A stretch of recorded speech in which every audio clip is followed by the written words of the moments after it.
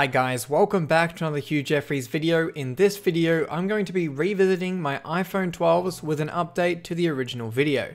Apple has just released iOS 14.4 which apparently adds an all new notification for if the phone cannot verify a new genuine camera.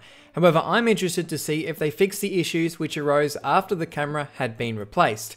In the last video, I took apart two brand new iPhone 12s, swapped the logic boards between the two, this resulted in a series of warning messages that the parts were not genuine, the camera stopped working properly with random freezing occurring when using the 0.5x zoom, the portrait mode didn't function at all, and the panorama mode refused to work with the 0.5x zoom. Along with that, Face ID stopped working, the battery health was disabled, and True Tone had completely disappeared.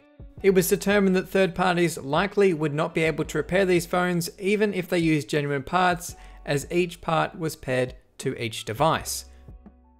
Reports surfaced that iOS 14.4 beta would introduce a new camera not genuine message. As I still owned my two iPhone 12s, I wanted to test this out and see if the camera glitches had been resolved. So, shortly after updating to iOS 14.4 beta 2, I could then swap across our cameras again and see if we get any issues. Updating was relatively easy and just used a beta profile and you can see that this is now running iOS 14.4 beta. I'll then disconnect and remove both cameras from each of my iPhone 12s. For a full teardown and repair assessment on these phones, I'd recommend checking out the original video, which goes much more into depth than this update video. Removing the cameras from both iPhone 12s, I will swap them to the opposite phone, which will make them not original to the phone, but a genuine Apple part. I'll reassemble the phone just enough so we can test it out and see if we get any issues or warnings in iOS 14.4. After reconnecting our front display and battery, I could test out the phone. Booting up, I saw no immediate signs of any notifications or warnings. In the camera app, everything works as expected, with all modes and functions working like the panorama and portrait mode. A few days later, the release of iOS 14.4 came out, so I wanted to update the phone. iTunes for Windows couldn't connect to the phone, and on Mac OS, I also couldn't connect as it required iTunes 12.10.10, which was only released for Windows, with the latest version of iTunes for Mac being iTunes 12.8. So I had to use 3utools, a third party software, to update the phone. After a few minutes, everything was successful and the release version of iOS 14.4 was installed. I set up the device and immediately was greeted in settings with an important camera message warning.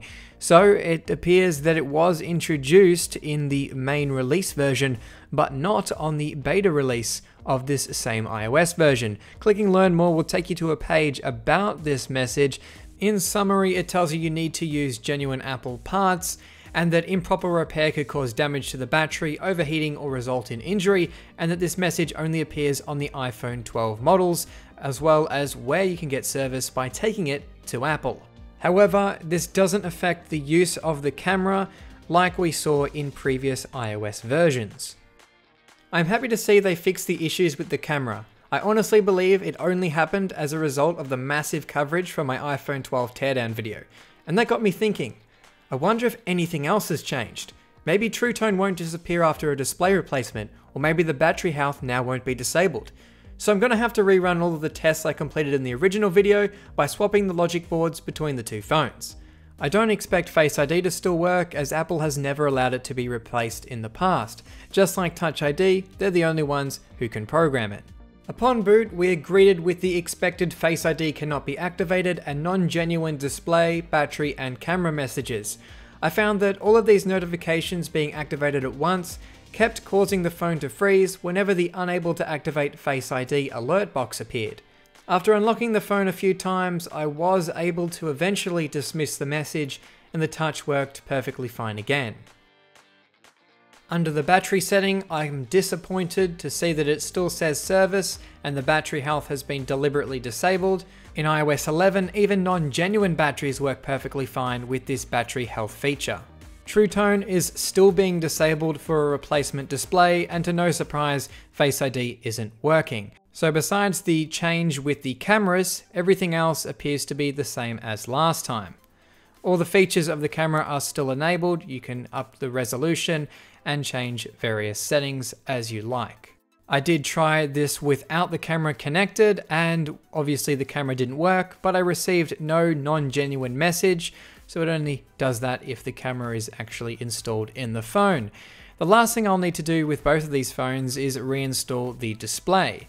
I'll need to install a new water and dust resistant seal, which I didn't do last time as this phone was so new there wasn't one available. I did purchase a whole pack of 10 so I can install some on these two phones. Using a pair of tweezers, I was able to wind up all of the adhesive in one go. I did this for both phones and was quite an effective method of being able to remove the adhesive. Although it came out in one go, it was a time consuming process and was quite draining on my fingers as of the constant rotation needed on the pair of tweezers. Once it had all been removed though, I could get our new water and dust resistant seal installed on both housings before we attach our displays. I can use a spudger to correctly seat it in. Removing the protective film, I can then attach our display panel connecting up the display, digitizer and earpiece cables. I can then reconnect the battery and the two cowlings going over the connections. Using a microfiber cloth, I can clean up any of the dust that I've left inside the phone, remove the protective film on the adhesive itself, and press our display panel down into position. I'll need to repeat the same process on the second phone. One indispensable tool when working on iPhones is an eye hold, which is used to hold the display in place while you connect the cables and screw everything back into position.